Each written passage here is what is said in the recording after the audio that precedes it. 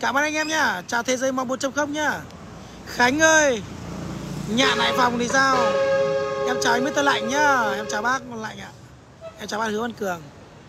Thôi anh em đừng nói chuyện anh Nhạn với chú lại Bánh làm gì đau đầu lắm. Thời này nó hết thời đấu nhau, va nhau rồi bạn ạ.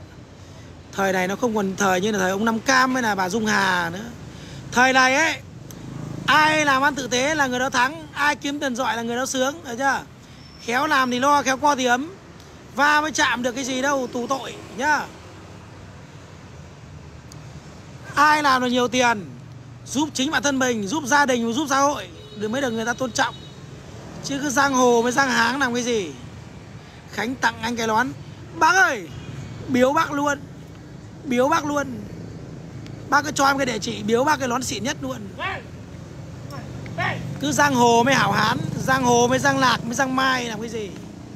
Thời này ấy Kiếm nhiều tiền Tạo ra, ra giá trị cho xã hội Giúp được người nghèo người ta mới là lệ Giang hồ mới cả du côn. Trong mắt những người có học ấy Nhá. Trong mắt những người có học ấy. Trong mắt những người có học Trong mắt những người làm ăn tử tế Người ta nhìn mấy cái ông giang hồ ấy, Người ta bảo mấy thằng dở hơi. Làm cái việc vừa nguy hiểm dễ đi tù Tù tội nhá. Các ông có công nhận tôi không? Hát một bài đi Khánh à. Em chào anh nha, Thành Hải Phòng nhá. Cu Khánh giờ làm ăn rồi không nên thiên nữa. Chứ cứ giang hồ cái thời này thì bây giờ Ai làm ăn tử tế Là người đó thắng. Kiếm nhiều tiền làm vua Thế thôi. Giang hồ mới hảo hán thì Thời 2023 thôi còn giang hồ mới hán cái gì bạn?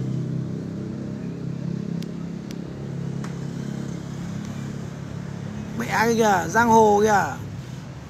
Bản lính kìa toàn trung thân mới tự hình thôi. Không thì cũng 25 trở lên nhá.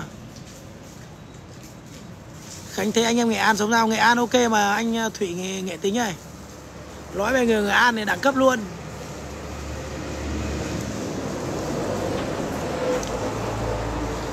Giang với cái hồ.